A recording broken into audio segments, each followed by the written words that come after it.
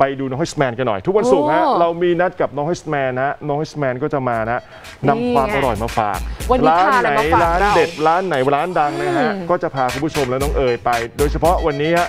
พาไปกินก๋วยเตี๋ยวหน่อยอะก่อนหน้านี้เราเคยนำเสนอก๋วยเตี๋ยวสามบาทที่เชียงใหม่ ถือว่าถูถูกกนะนะสามถูกบาทแล้วเดี๋ยวไปเชียงรายฮะยังไง ชามละ 50 สตางค์ฮะ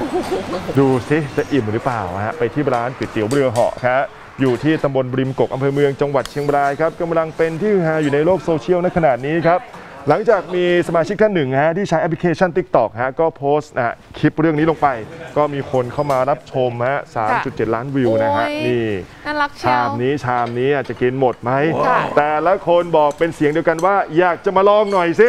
ว่าตกลงมันชาม 50 สตางค์จริงหรือเปล่านะฮะ ทีมข่าวของเราฮะก็พกเงินมาด้วยฮะ พกมาแค่ 10 บาทพอนะฮะ ก็มาพิสูจน์ความอร่อย ความอิ่มถึงร้าน ก็พบกับคุณนัสนาวงเวียนหรือว่าคุณเอ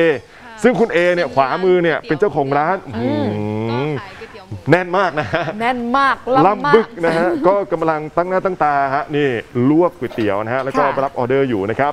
คุณเอบอกว่าที่ร้านมีก๋วยเตี๋ยวราคา 50 สตางค์ขายจริงฮะเป็นแนวคิดของเพื่อนครับ ที่อยากจะสร้างคอนเทนต์ในโลกออนไลน์ให้คนรู้จักร้านก๋วยเตี๋ยวเรือเหาะให้มากขึ้นครับ เลยทำก๋วยเตี๋ยวเรือชามละ 50 สตางค์ขึ้นมาครับ ใส่ในถ้วยอ่าน้ำจิ้ม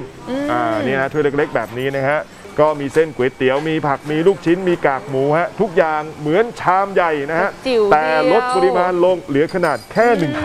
ำน้องเอ๋ยอิ่มไหม ไม่อิ่มเลยไม่บอกอิ่มตรงๆ ใช่ไหมพูดตรงๆเลยนะฮะ บอกว่าไม่อิ่มนะฮะ ไม่เป็นไรฮะ แต่ก็มีก๋วยเตี๋ยวแบบชามธรรมดาขายเหมือนกันนะฮะถ้าอย่างนี้โอเคทั้งมีก๋วยเตี๋ยวหมูก๋วยเตี๋ยวเนื้อนะฮะราคาก็ 35ถึง50 บาทนะครับค่ะแต่ถามว่าก๋วยเตี๋ยวชามเล็กเนี่ยไอชามละ 50 สตางค์เนี่ยขายทุกวันหรือเปล่าเออขายเฉพาะวันพุธวันเดียวเท่านั้นนะวันฮะเดียว9โมงถึง 11 โมงค่ะขายเพียงแค่ 100 ชามอะต้องรีบไปนะอ่าถ้าอยากกินก๋วยเตี๋ยว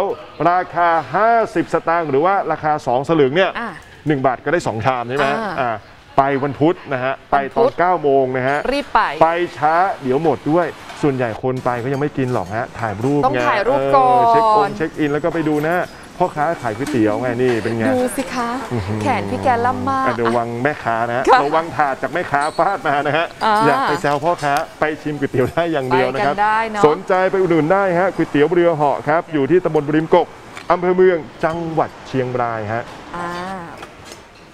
ชมข่าวติดปากนะครับ ที่ออกอากาศสดแล้วบางครั้งคุณผู้ชมเนี่ยอาจจะพลาดไม่ได้ชมฮะสามารถไปติดตามได้ใน YouTube รับชมย้อนหลังนะครับ ไปชมเสร็จแล้วครับกด Subscribe ด้วยนะครับ เดี๋ยวจะพลาดข่าวสำคัญแล้วก็ความสนุกสนานครับ